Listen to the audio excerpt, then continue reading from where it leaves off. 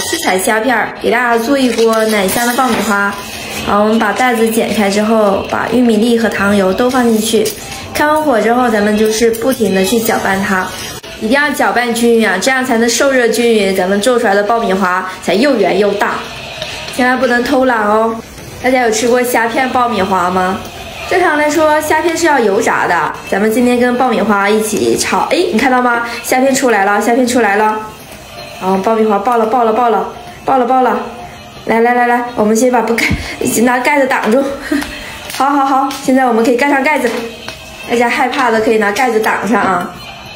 盖上盖子以后啊，咱们也不能偷懒，要一直晃锅，一圈、两圈、三圈、四圈、五圈、六圈，一二三四五六七八，二二三四五六七八，看到吗？随着膨胀，那个虾片啊跟爆米花都放大了，都是属于粮食放大器啊。你看，哎，看到吗？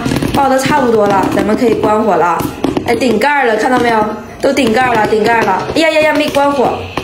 记住记住啊，要爆的差不多了，一定要记得关火啊！看到这虾片没？看到这虾片没？三二一，开盖！哎呀，粘上了，这糖都粘上咱们锅盖了。好了好了，哇塞，超成功的，太棒了吧！